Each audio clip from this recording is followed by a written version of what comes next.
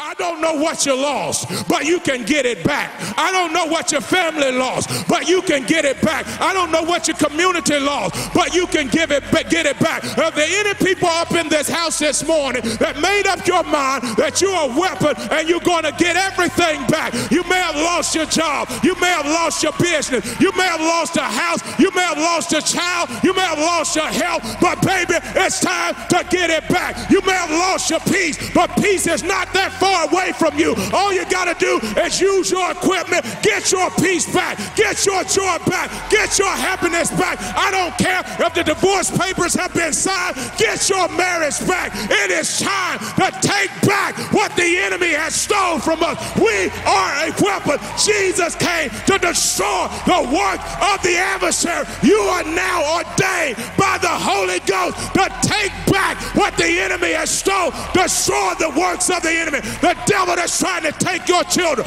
Don't let the devil take your children. If he's after your finance, get your finances back. Get your marriage back. Get the peace back in your home. Get the peace in your church.